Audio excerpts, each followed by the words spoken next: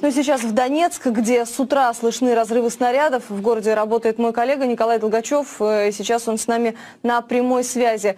Николай, здравствуйте. Неужели минские договоренности до сих пор не остудили пыл украинских силовиков? Что происходит в городе к этой минуте? Ольга, здравствуйте. Действительно, украинская армия постоянно, не прекращая, применяет артиллерийские орудия и систему залпового огня, в том числе по населенным пунктам, в частности, по Донецку. Вот сейчас мы находимся в Буденовском районе.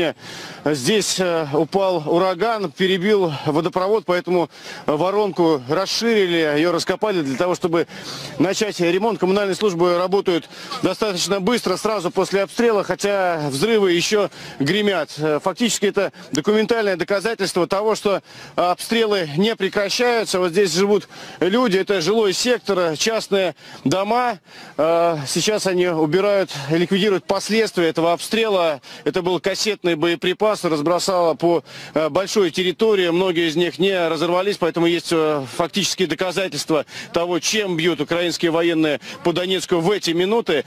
Э, Никаких признаков отвода тяжелой техники от линии противостояния на данный момент нет.